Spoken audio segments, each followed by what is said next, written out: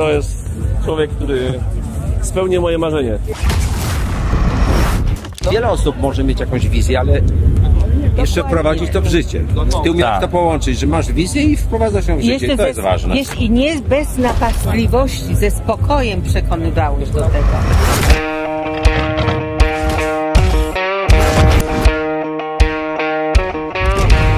Witam moi kochani. Teraz jesteśmy na imprezie Lufge Kult, która w tym roku odbywa się we Wrocławiu. Idealna okazja, przy której te dwa pojazdy mogły się spotkać razem.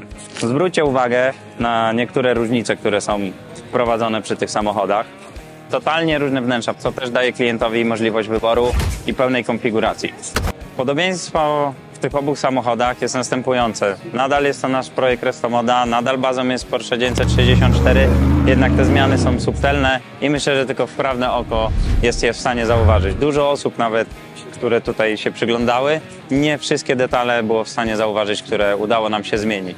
Moim zdaniem jest to bardzo fajny zabieg, bo klient będzie mógł każdy z detali dokonfigurować pod swój własny gust.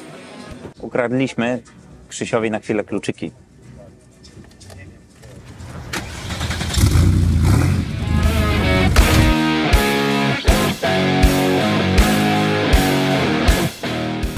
Zapoznam Was teraz z właścicielami tych samochodów. Pani Ewa i Pan Bartosz. Dzień dobry.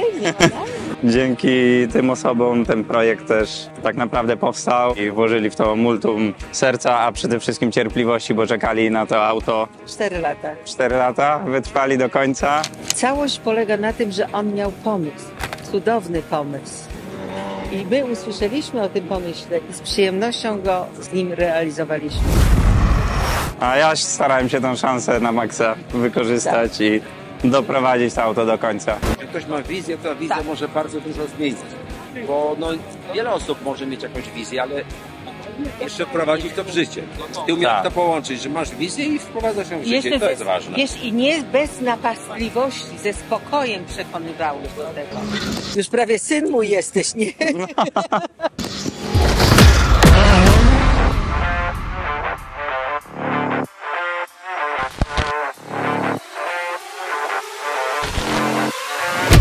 przybliżymy Wam historię tego egzemplarza.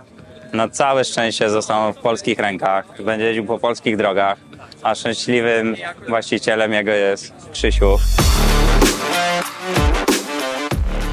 Krzysiu od paru dni jest właścicielem tutaj Dosłownie już od kolejnego projektu. czwartku. Od czwartku. Jeszcze nie za dużo przejechał, ale chyba pierwsze kilometry zrobiły wrażenie. Niesamowite. Powiem, samochód jest majstersztykiem. No nic lepszego tu nie znajdziecie. Nawet odczuciowo jeździłem wieloma samochodami, wieloma, naprawdę uwierzcie. Ale to jest po prostu liga top of the top. To nie ma nic lepszego. To jest człowiek, który spełni moje marzenie. Ktoś mnie zapytał dzisiaj, czy się opłaca. Mnie nie opłaca się, ale warto. Tutaj przedstawiam Wam e, Bartosz Elefant Janiszewski. To jest bardzo ważna osoba, która brała udział przy powstawaniu tego projektu. Można zobaczyć tutaj najnowsze jego dzieło, które dwa dni temu e, na ostatni moment udało się zrobić. Jest to customowa torba wyprodukowana tylko do tego samochodu. torba, którą zaprojektowałem od początku do końca, z użyciem materiałów y, takich samych jak jest we wnętrzu, więc mamy alkantarę, która znajduje się na fotelach, czarna skóra i logo projektu.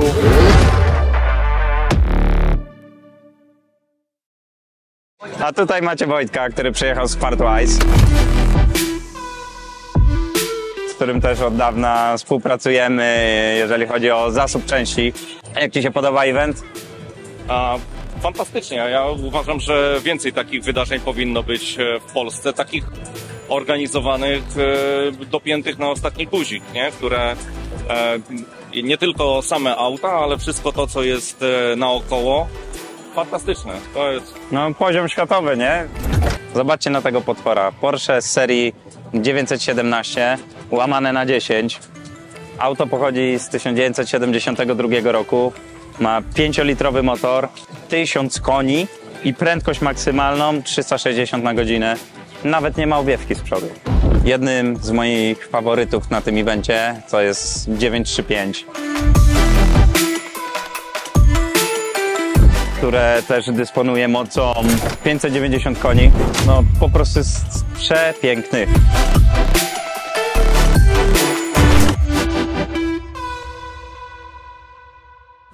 No i zobaczcie na to. Kolejne 959.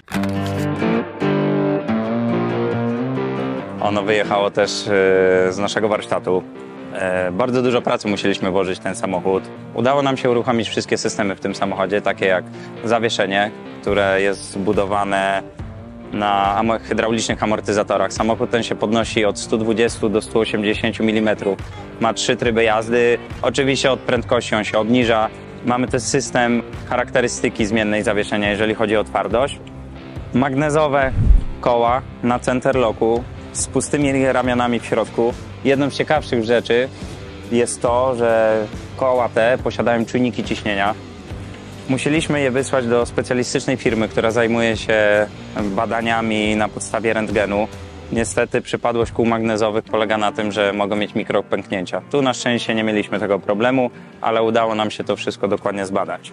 Kolejnym problemem, który musieliśmy rozwiązać, to był układ aktywnych e, szper. Możemy sobie zmieniać, podobnie jak w nowoczesnych samochodach, e, różne tryby, e, czyli tryb jazdy na suchym, na śniegu, na mokrym. No i to jest prawdziwy chyba Dream Car 959 i technologia, jaka tu została użyta do zbudowania tego samochodu. Oczywiście nie muszę wam mówić, że to auto wygrywało rajdy Dakar. Finezja sama w sobie. Carrera RS 2.7. Prawdopodobnie jest to najlepiej zachowany, oryginalny egzemplarz Carrery RS. Jest no, po prostu cudowna. Zobaczcie, w jakim stylu jest ten samochód.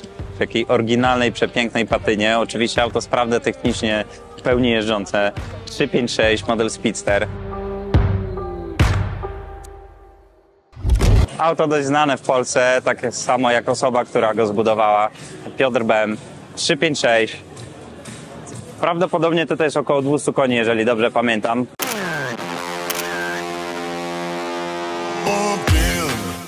993 Turbo, ostatni model Porsche chłodzony powietrzem. To auto było u nas e, kilka lat temu na dość sporym serwisie. E, Zrobiliśmy kapitalny remont silnika z nowymi turbinami. Trochę pracy było też przy zawieszeniu, ale silnik nadal jeździ, suchutki, nic nie cieknie. BBS LM do 993 moim zdaniem leży tutaj perfekcyjnie.